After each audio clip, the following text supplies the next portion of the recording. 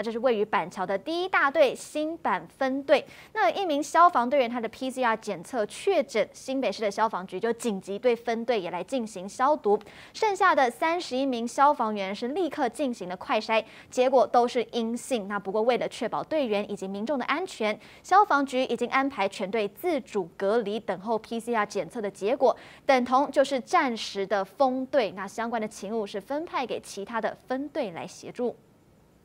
另外，我们再来看到，昨天就是公布了我们新增本土确诊个案是两百六十六例，另外校正回归八十九例哦。不过指挥中心首度修改了死亡人数，从一开始的十一人死亡改成了十人死亡，原因就是有其中一名万华五十多岁女性，事后调查她并没有死亡，因此是赶紧下修。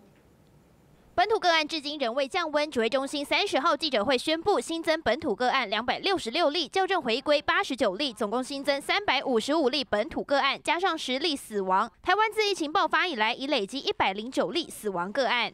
那整个这个三百五十五例里面，哈，新北市一百九十三例，那台北市八十五例。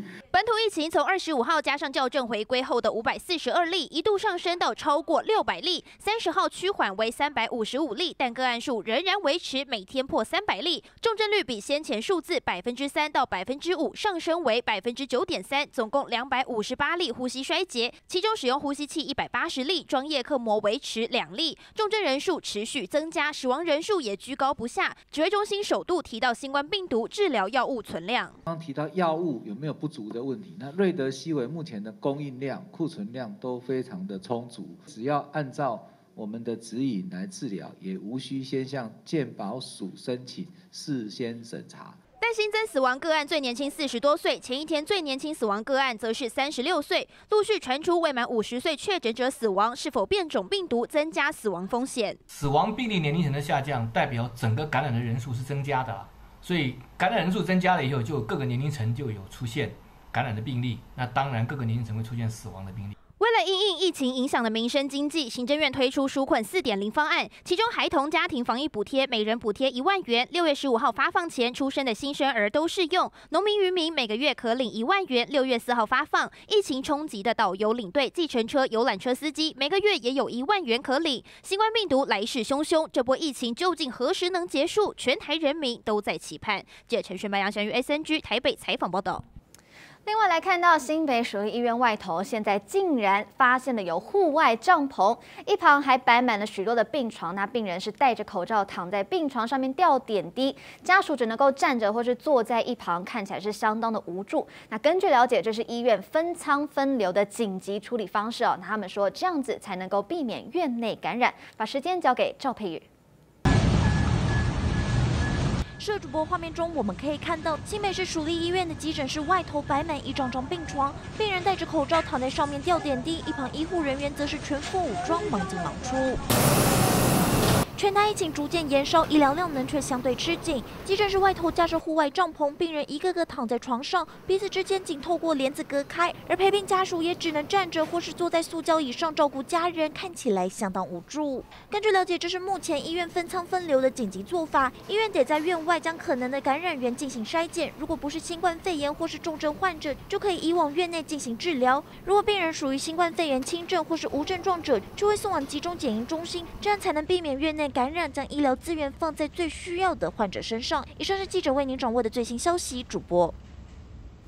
好，我们接着再来看到疫情现在来的凶猛！那许多人真的是来不及见到自己家人的最后一面。新北市土城医院呼吸胸腔科的医师张志豪他就表示，曾经他收治了一位年约六十岁的确诊男性哦，那他非常的注重穿着，但是因为住院，所以没有办法穿上他自己最喜欢的套装。那日前他病况是急转直下辞世，太太接获了死讯，就拜托医院让他送衣服来为他送行，但是老先生已经在。十分钟前就送往了火化，所以这个愿望再也无法实现。另外再来看到，现在为了要避免群聚感染，有的县市长他们就是呼吁大家在家里也要戴上口罩。那台北市长柯文哲他昨天是寄出了新政策，将把确诊者交给社区健康服务中心来追踪。那如果一个人确诊，全家都要来进行筛检哦。那筛检的费用会是由市府来支出。另外，彰化县政府即日起则是全面的启动县内十间医院的快筛监测站，一旦呢有呼吸道的症状，无论是有有无接触史，那一律都是要做 PCR 的核酸检测。另外，再来看到台北市政府也在昨天进行了四级警戒封城的兵棋推演。市长柯文哲他就透露了，其实昨天他有科技大佬就打电话给他，特别的提到了资讯以及通信科技是台湾重要的输出产业，一旦停工是不得了，不止台湾，全世界都会受到影响。三级警戒超过两个礼拜，北市空城计恐怕还得继续，而且台北市长柯文哲还加码进行四级封城并推。科技界的大佬啊，打电话给我，他说 ICT 是台湾的重要的输出产业，特别都在北台湾呢。你要知道 ICT 在我们台湾股票市值以前超过四十五趴，这个这个一停工，你知道吗？如果 ICT 不能出货，这不得了，这不是只有台湾，全世界都会受到影响，所以。所以他说停工这件事情，你绝对要很审慎。我也同意。停课不停班，已经让家长两头烧。如果真的进入四级警戒，除了食物、医疗非必要不得外出、卫生防疫工作之外，全面停班停课，甚至所有聚会都要喊卡。交通方面，七十一处桥梁、匝道都会设置管制点，禁止车辆进出。捷运与公车不跨双北营运，Ubike 同样不能骑。所以在现阶段哦，台北市。